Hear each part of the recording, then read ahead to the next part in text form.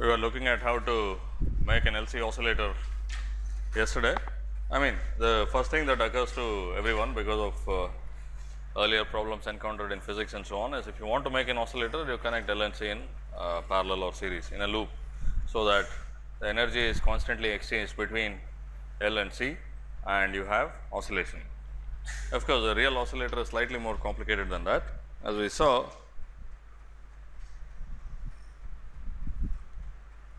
if we have an ideal lossless LC or you have LC and some loss that is lossy LC compensated by linear negative. Resistance. That is this is fictitious we can't make this, but let us say that is the case. In either of these of course, you get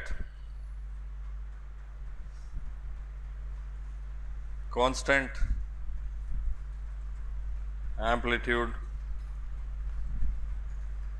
oscillations, but the amplitude itself is uncertain. Basically, it depends on the initial energy in the inductor and the capacitor. Okay. Now, two things one is first of all we do not have an ideal linear negative resistance and even if we did it does not look like it is the most desirable thing. So, we will always have it compensated by some nonlinearity. The nonlinearity can be mild or hard that depends on uh, the particular implementation, but that is how it is going to be. Okay. So, this uh, I mean the exact type of nonlinearity there is really a zillion varieties. Okay. But we take one particular case uh, something that you expect uh, based on your experience with other nonlinear devices that you have a negative conductance, but its output current is limited. Okay. So, negative conductance with current saturation that is uh, what we considered. So, what we have is lossy LC compensated by a negative conductance with current saturation right. So, we intuitively understand how uh, these things work. We have an LC network with a loss.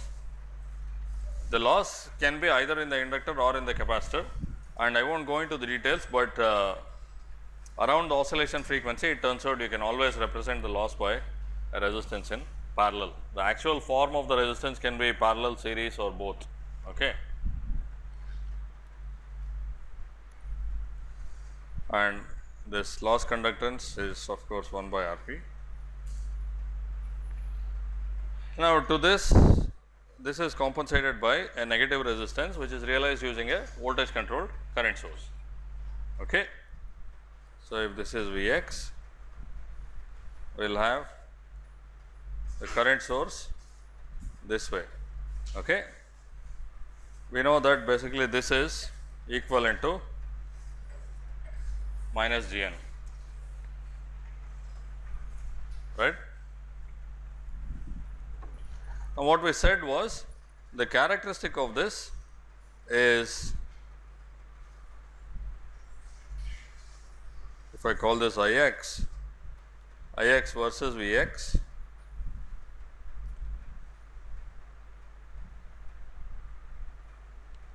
it follows G n V x in a certain range, but after that the current saturates to plus or minus I naught. Okay. And the voltages at which the current will saturate will be plus minus I naught by G n. Okay. Now, in this case what do you expect to happen? So, let us say uh, there is a very small initial condition on the capacitor okay. and we also said that how should we choose the value of Gn? Gn must be greater than Gp. So, what this does is however small an initial condition you start with, you will have a natural response that is a rising exponential I mean a sinusoid modulated by a rising exponential. Okay. So, the amplitude will build up okay. And it will uh, essentially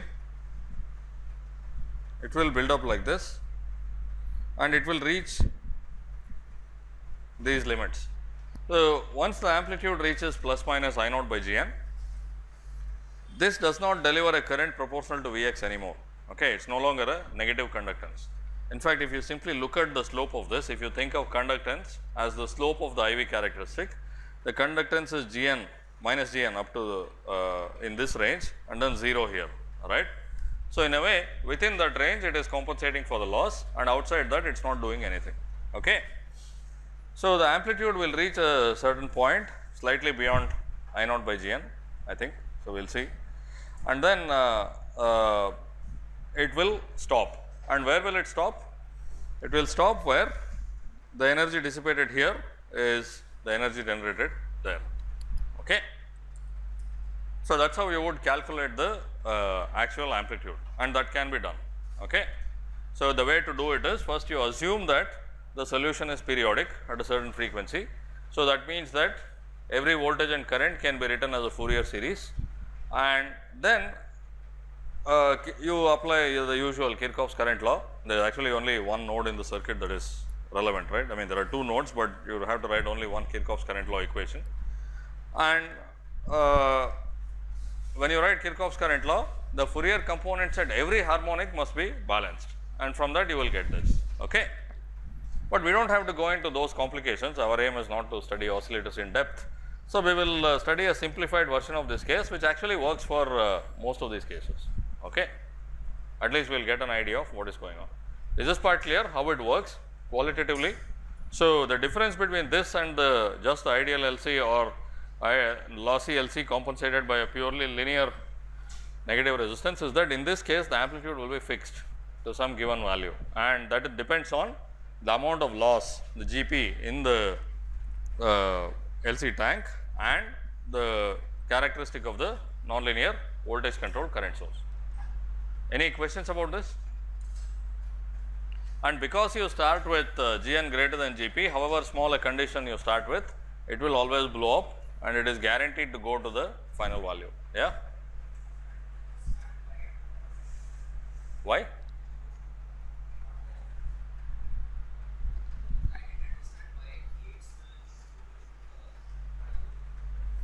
Yeah, because uh, what happens is, let us say we assume that uh, this Vx is a sinusoid that spans exactly this much. Okay. Now, in this case, this represents a linear negative conductance. Okay. And because Gn is more than Gp, the power generated in this is more than the power generated, power dissipated there. So, it can't, that can't be the balancing point, right. That can't be the equilibrium. You understand? So, if it was exactly this or somewhere within this one, then the energy, the power dissipated here would be less than the power dissipated there and where is the rest of it going. So, in steady state they have to be balanced. So, what happens is this goes a little bit beyond that. So, the power dissipated here increases, the power generated here does not increase as much because this is saturating and it will uh, you will find a balancing point. Okay. Any other questions? So, that is hap what happens in uh, any other circuit also. Typically, uh, first of all in any oscillator right, all the variables being 0 is a valid uh, solution. That is I mean we can have this voltage across this to be 0 right that is perfectly valid. Now, no real oscillator will actually stay that way even if there is a slightest disturbance because of noise or something it will get started up. And also there will other there will be other stimuli like uh, when you turn on a circuit it is like applying some steps somewhere in the circuit. We may not be able to analyze cleanly what it is, but that is what it is right. So, it will always go there. So, uh, every oscillator will be designed such that if you set all the voltages to 0, okay, nothing is saturated, everything is operating in the linear region, the poles will be in the right half plane. So, that the smallest disturbance will cause a blowing up exponential and somewhere some saturation or something will limit the amplitude. Okay. Any questions about the basic idea of this oscillator? Now, once we get the hang of this, it turns out it does not matter too much. We will make G n greater than G p, maybe let us say we say G n is 2 G p, but uh, the details of that do not matter as it turns out. So, we can have something steeper okay. or we can have the most extreme case and you can see this is sort of the counterpart of the ideal op amp right. In the ideal op amp's case we assume that the gain is infinite, but it has saturation. So, this is exactly the characteristic it has right. So, it is just a comparator like characteristic which saturates at plus minus I naught. Here also it is the same thing that means that this controlled source will either push I naught or pull I naught okay, depending on whether Vx is positive or negative that is all. Okay. So, that case is easiest to analyze, but uh, uh, in spite of the idealization actually many of the other cases where Gn is much more than Gp do correspond to this. Okay. Is this fine? So, this is what we will analyze.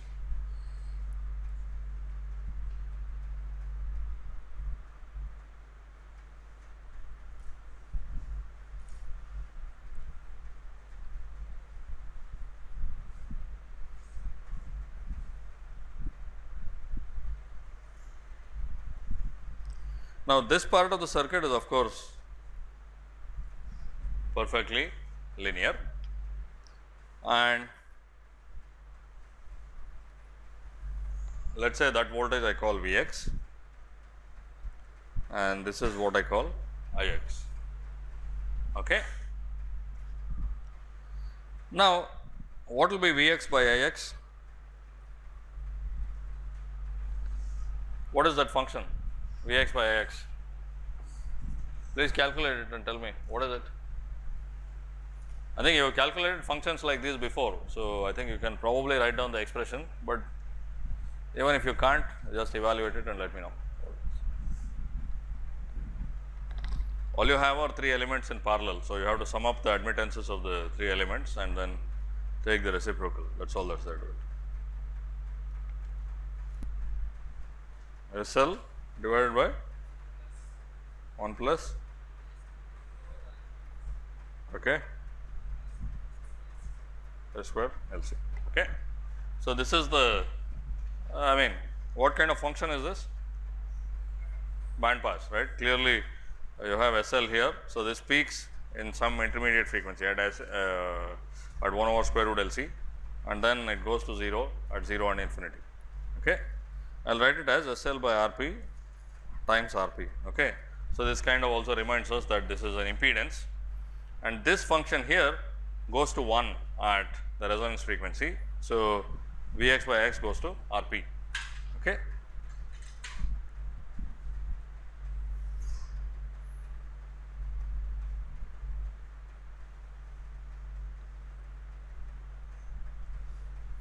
What will be the magnitude of this? It will start from uh, some low value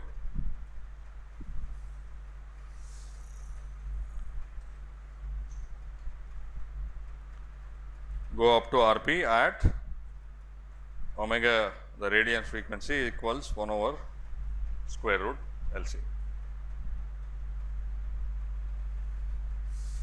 What will be the phase? What is the phase at very low frequencies? Pi by 2. Why? Yeah, clearly, I mean, if you neglect the terms with S in the denominator, you are left with only SL and that also makes sense at low free this one this whole network at low frequencies because you have parallel combination the smallest admittance is what dominates right. So, at low frequencies it is basically an inductor very high frequencies it is a capacitor and at the resonance frequency the capacitive and inductive reactances cancel out and leave you with only the resistor.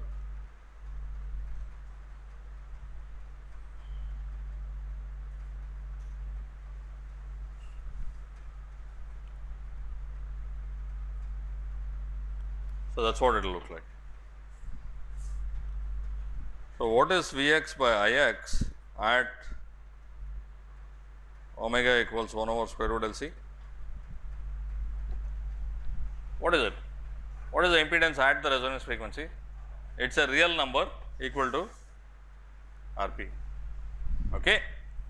So, let us keep this in mind and to this we connect our voltage controlled current source.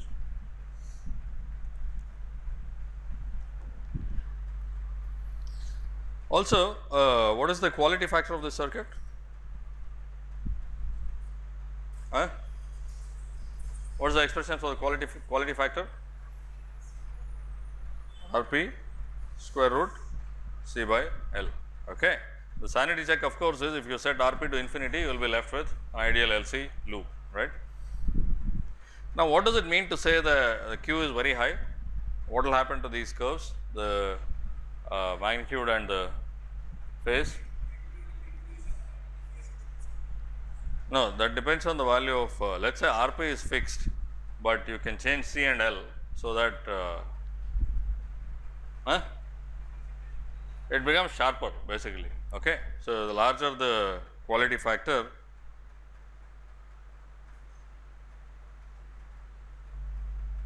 that right? Okay. So, let us keep this in mind that first of all if the quality factor is very high essentially it allows voltages only around the resonance frequency. Okay. Assuming that let us say you have a constant amplitude current that is what we are plotting right. We are uh, sweeping the frequency of the sinusoidal current that is going into this circuit and plotting the magnitude of the voltage. What it says is it is only around the resonance frequency that you have any appreciable voltage at all. Okay.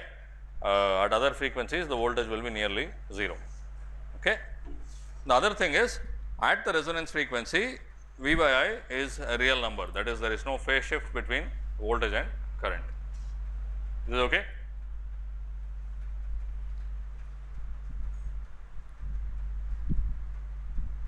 Any questions here? This is just linear network stuff actually this has got a little to do with an oscillator uh, at this point. Now, let us look at the other part of it.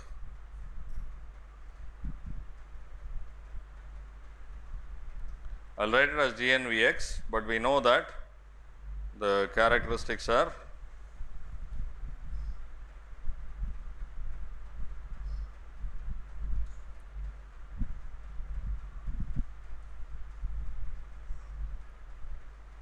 okay. Essentially Gn is infinity here and but there are saturation limits of plus minus I naught. Okay. There is some Vx. Now, let us say uh,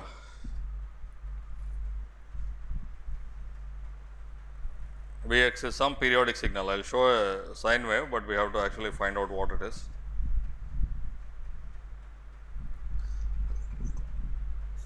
What will be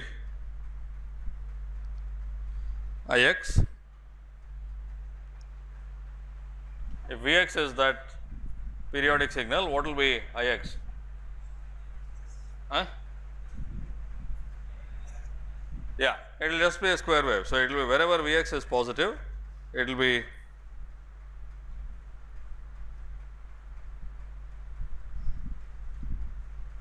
positive and where it is negative, it will be negative and so on.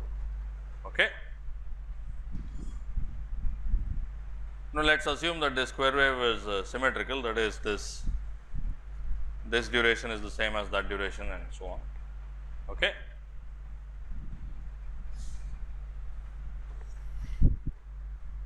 So, now this is I x of t and what is the Fourier expansion of this? The Fourier expansion of any periodic signal is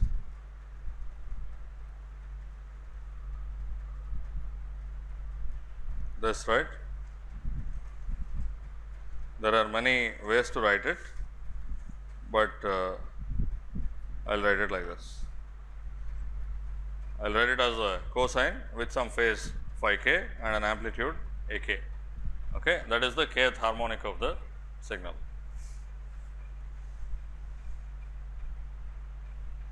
So, what we have to find is uh, square wave and sine wave that will satisfy our oscillator, right. So, I am just going through it step by step, so that you understand exactly how we do this. Now, what is A naught here in this case? 0, okay, because we assumed a symmetrical square wave. So, this is 0 and what is this? What is A k and phi k? And imagine that I mean this is the t axis and this is 0. So, do you know the Fourier expansion of a square wave? Have you done this or no? What is the Fourier expansion of the square wave?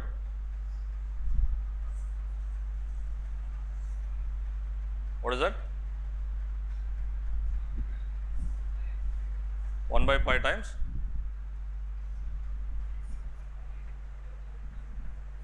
One by one by k factorial. No.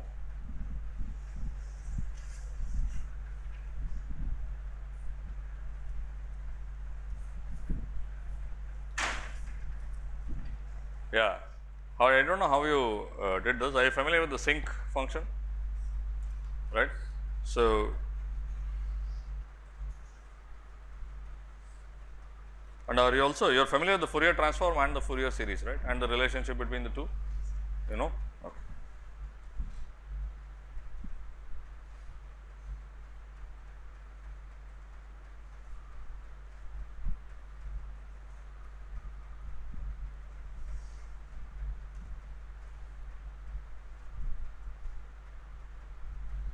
If you have a rectangular pulse of uh, height a and width t, what is the Fourier transform?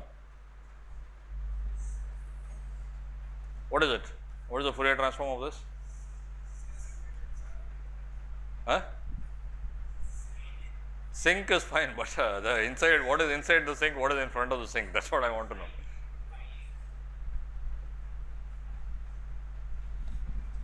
Okay, I will supply this part of the answer, you supply what is here and there. What is in front of that? 1 by pi. What did you say? A. It is the area. The area of this is what is here? ATX. And what is inside? It will be, I mean, what, what variable are we talking about here? This will be a function of what variable? The Fourier transform? F. Okay. This is now f is the frequency in hertz. So, if you want this is equal to omega by 2 pi. Now, f of course, sinc has a dimensionless argument f is multiplied by what? Time which time? I mean the Fourier transform is not a function of time, it is T x. Okay. So, the width goes here. So, that is a good way to remember it. So, it is the area times sinc of f times the width. Okay.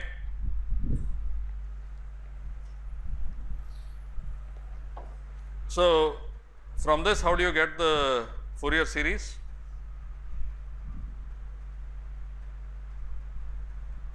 So, what is the function that we are considering? We repeat this, repeat the same curve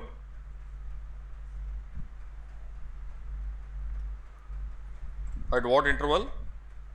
To get a square wave, basically from this I have to get a square wave. So, what is the interval at which I am repeating this? Huh? What's that? 2 Tx. So, this is Tx. So, this is 0 and then I put another uh, rectangular pulse at 2 Tx and another one at 4 Tx and so on, I will get a square wave, right. So, I take a function and then I repeat it. I will get a, uh, I will get the square wave and how do you get the Fourier transform from there? Do you know this or then we do not have to go through this because I do not want to kind of change this into signals and systems type of discussion, but uh, we can just go to the Fourier expansion of the square wave and move on.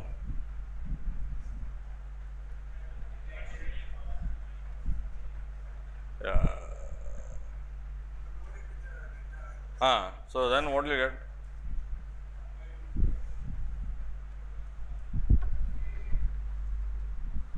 So multiply it with so, we have to have ATX sinc FTX times 1 over 2 Tx delta f minus n by 2 Tx. Okay. Now, 2 Tx is actually the period of the square wave. Okay. So, anyway looks like you are not that familiar with this. So, the answer just comes out to be that the kth uh, uh, Fourier transform of a uh, symmetrical square wave. So, let me just give you this then you can scale it up.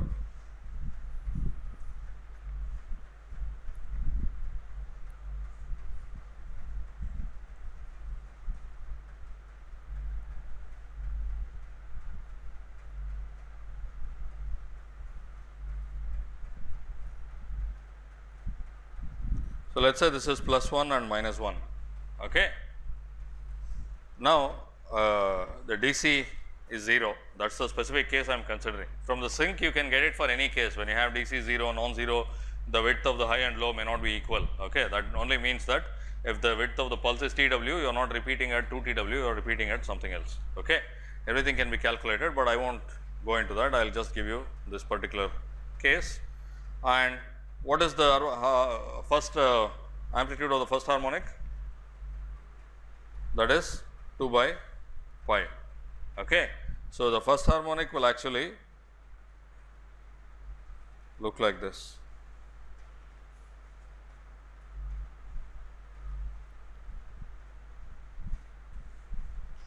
Its peak will exceed the peak of the square wave. Okay. Uh, sorry, this is 4 by pi, yeah, 4 by pi. So, if the peak to peak value is 1, it is 2 by pi, it is here the peak to peak value is 2. So, it is 4 by pi, yeah, okay. And the third harmonic will be how much? I think at least this you know, right. How does, how do the harmonic strength of a square wave fall off? 1 by 1 by what? Yeah, 1 by n, yeah. So, the next one will be one third of that and so on, right. So, what will that look like? Actually, it will be in the opposite uh, direction. So, it will be minus 4 by 3 pi and so on. So, at least uh, you have seen the constructions, right. So, what happens is if you sum the first and the third harmonic, you cannot see it is already getting more squarish. It does that. And then if you add more harmonics, it becomes equal to that. Basically, you have to, a single sine wave will have a peak in the middle and it is gradually falling off and you have to make the top flatter. So, this is what happens. So, anyway all this is not uh, the details are not relevant for our discussion. All we have to know is this square wave if I call this uh, S of t. So, what is it now? A naught is 0. So, I will sum from 1 to infinity and the amplitude is 4 by k pi and cos huh, k omega naught t. What is the phase?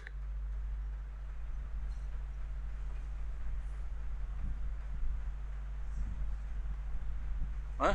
0 for everything? For third one it has to be the opposite, right?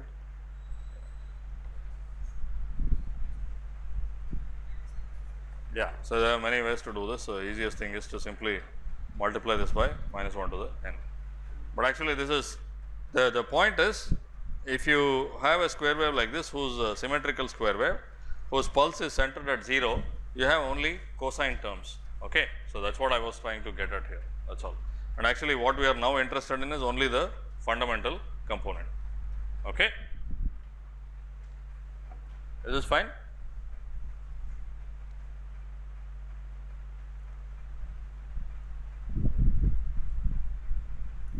Any questions? So, you can at least go back and brush up the Fourier expansion of a square wave and you can also see the relationship to the Fourier transform that is if you forget it you can always calculate it. The only thing is you have to remember that Fourier transform normally in signals and systems is evaluated on both minus f and plus f axis right. Um, whereas, uh, uh, when you write a Fourier series like this, we don't write the negative frequency terms. When we write it in terms of sines and cosines, when we write it as complex exponentials, we do. Okay.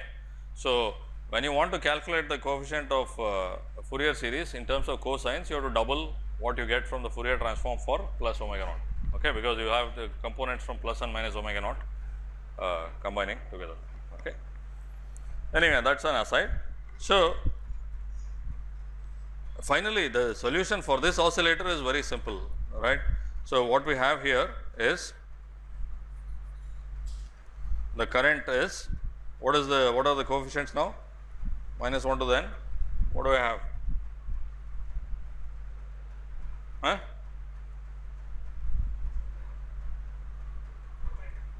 Four by pi that is it. I naught. 4 I naught by pi cos omega naught t. That is all. Okay. Sorry. I think I had to have k here and a k there okay. So, essentially this I x is a sum of uh, fundamental and its harmonics okay. So, that means that we will have something at omega naught 3 omega naught and so on okay.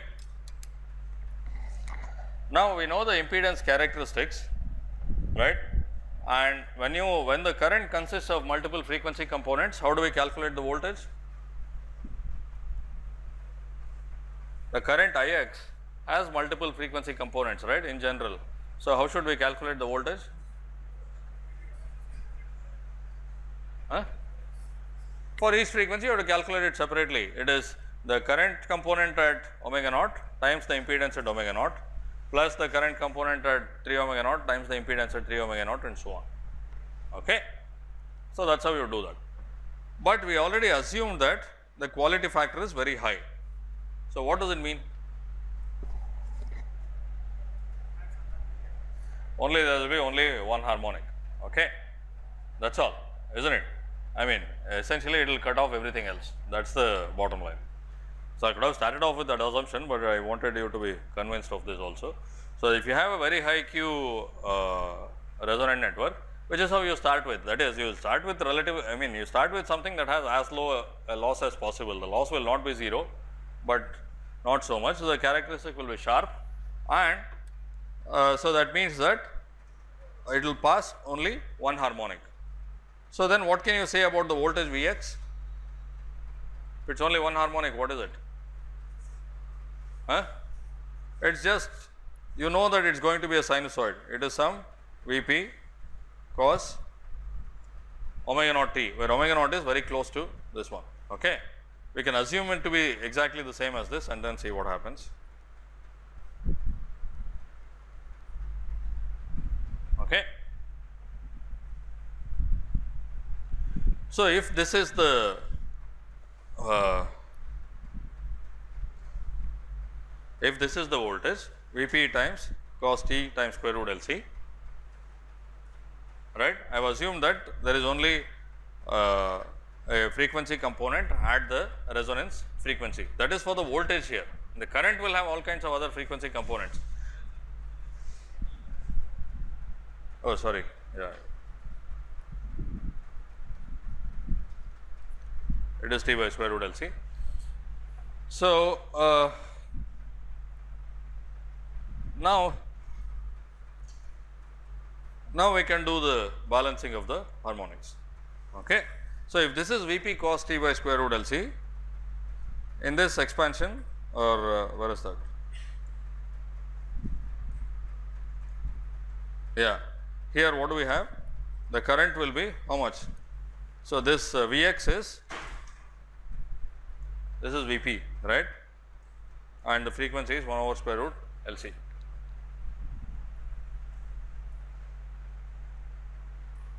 So, what will be the current? What is it? I mean, we have already calculated this, right? k equals 1 to infinity minus 1 to the n 4 i naught by k pi cos k omega naught t. Okay. Out of this only the fundamental term. What is the fundamental term? 4 i naught by pi cos omega naught t. Okay. Is this clear?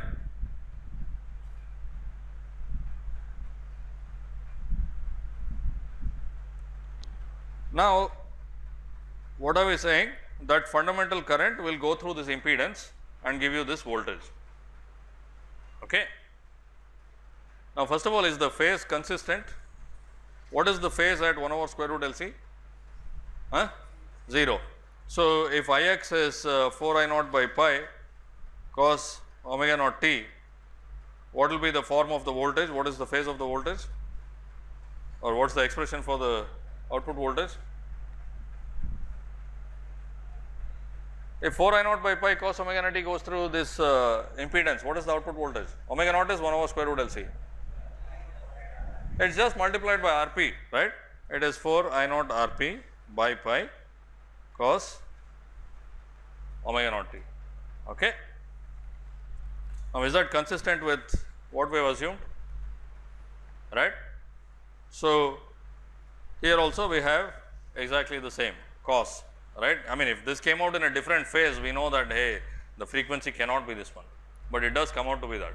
Okay. You can sit and solve this, sit and write the expression for the harmonics and solve this, but we can see that easily also. So, basically at uh, omega naught there is no phase difference between the current and voltage. Okay. And also when this voltage goes through the nonlinearity to give you the current there is again no phase difference because if this is cos omega naught t the fundamental of that square wave will also be cos omega naught t. So, finally, it balances out. So, what is the output voltage of this oscillator?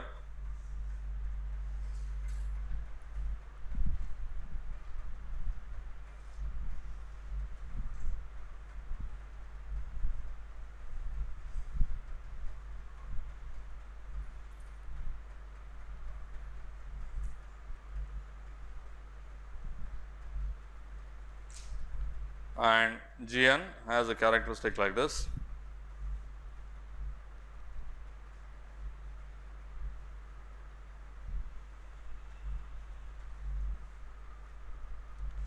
What is Vx? What did we calculate just now? 4 I naught Rp by pi cos omega naught. Okay. So, mainly I mean this function is of course, this a time reference we do not know what the phase is, but this is the amplitude. Okay. It will oscillate with an amplitude 4 I naught R p by pi.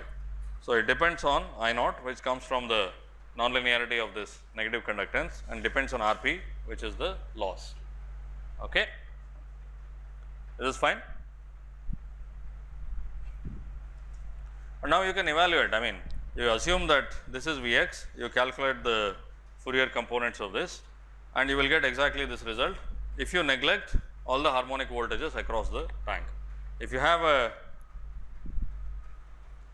high enough quality factor,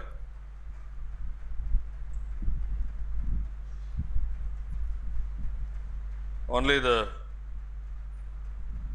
fundamental voltage exists across the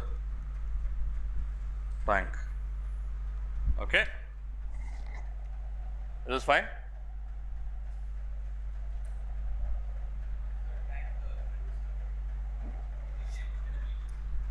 Yeah, I mean there is actually only one voltage in this whole circuit, right? This is the this is what we normally call the tank. So, across that we will have only the fundamental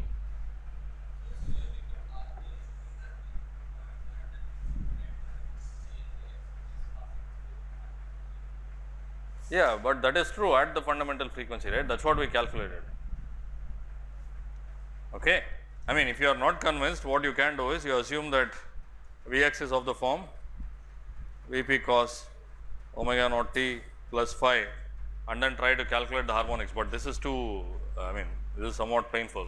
Okay. We are not assuming that all of this current flows through RP. We are assuming that the fundamental component flows through RP and if the fundamental component is at the resonance frequency that is true, right. And all the other harmonics will pass through the where? Huh? What happens to all the other harmonic currents from the negative conductor? Where, where negative conductance, where does it go?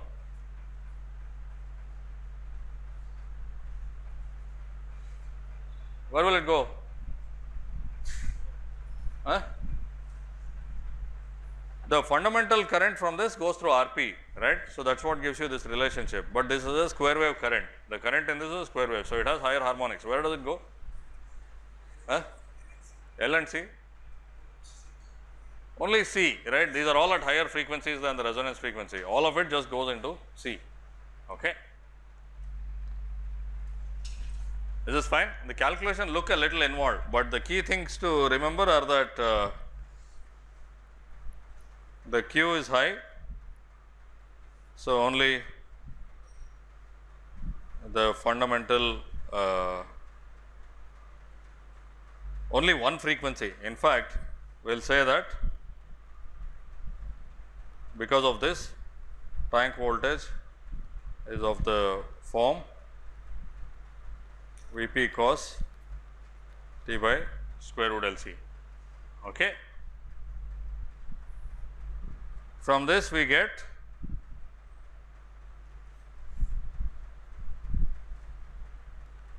the current from G n which will be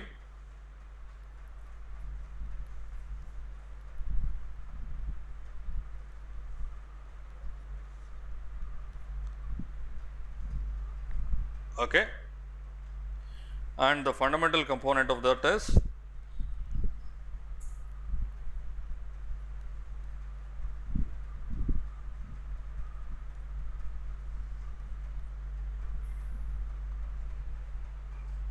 Is that right?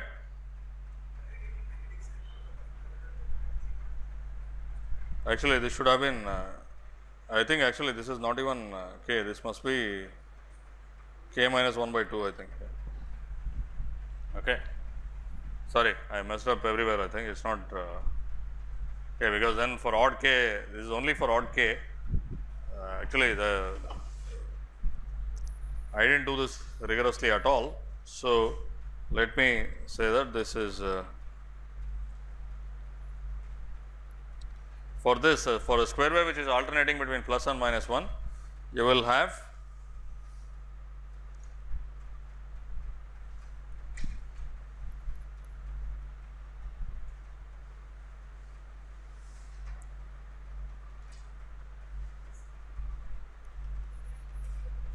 Huh? Ah, yeah, yeah. So that's what that's what we'll have to do. Okay. So that's what I was. Uh, so if this is minus 1 to the k, then this will be the 2 k uh, plus 1th harmonic, right?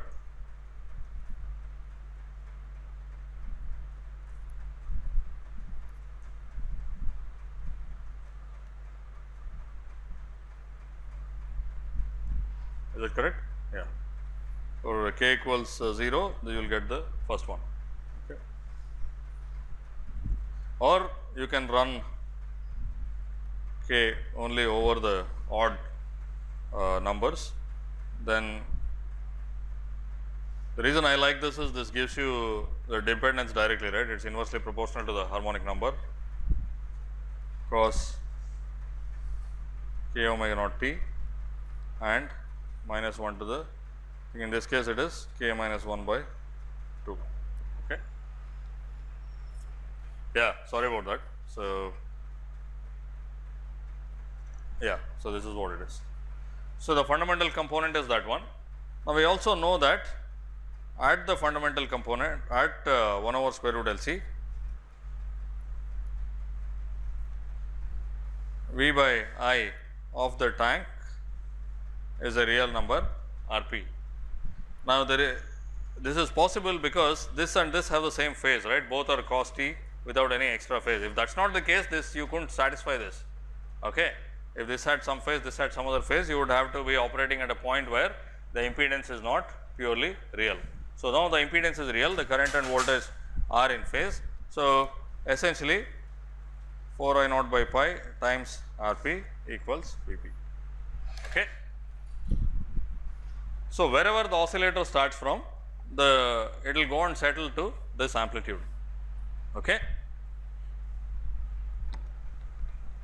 So, I had not planned on spending so much time on the LC oscillator, but okay at least hopefully now you understand that uh, the amplitude will get stabilized and it depends on the nonlinearity of the active device and the loss in the tank.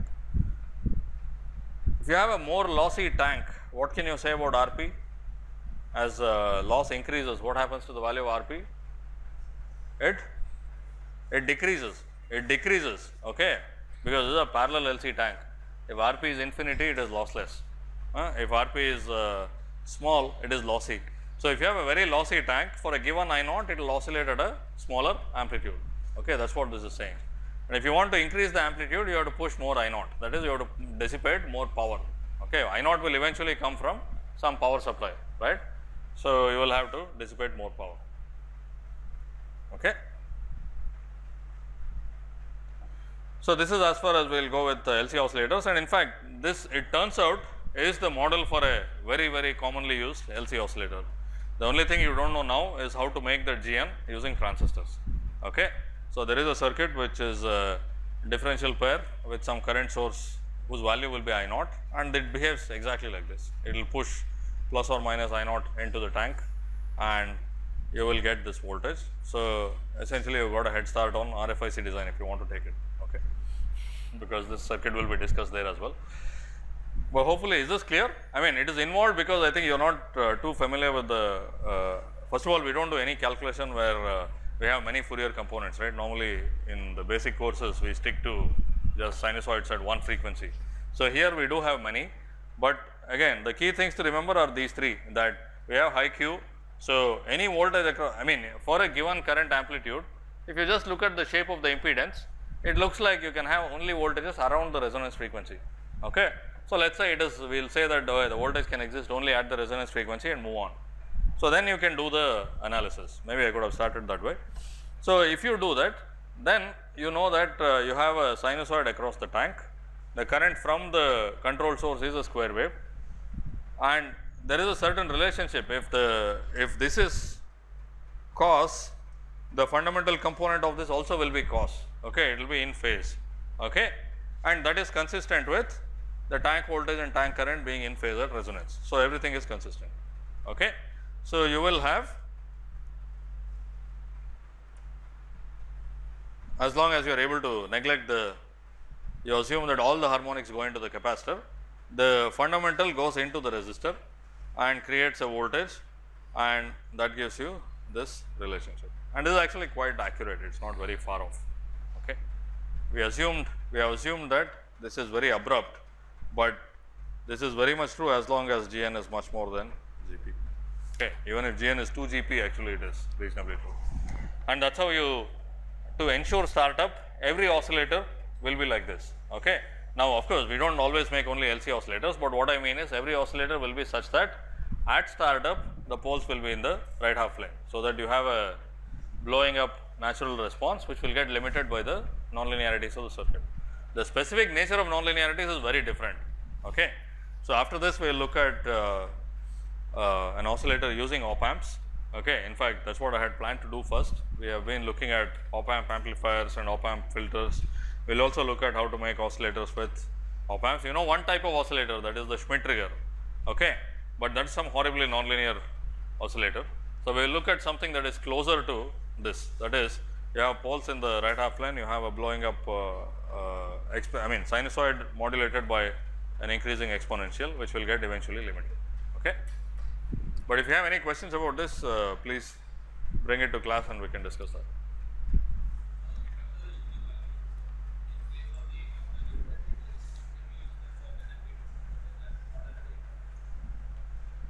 Yeah, now, uh, yeah, this particular circuit is used when you have physical inductors. Okay. Now, you can use uh, like for instance using active circuits and capacitors you can realize an inductor. But when you have that you will probably let that active circuit also do the work of replenishing the stuff. You will not, the, that circuit will not look like this with this parallel uh, current source. Okay. So, because if you make an inductor using active circuits, you can presumably also make an inductor with a negative loss. Okay. So, we will do that.